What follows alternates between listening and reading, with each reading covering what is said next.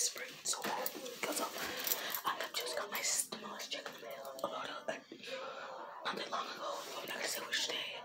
I, I ordered tons of stuff. I'm going to be uh, posting on my Instagram and showing off what it is. So I was a Roman Reigns shirt. It happened at www.shop.com. Go grab that hat. Actually, if you haven't got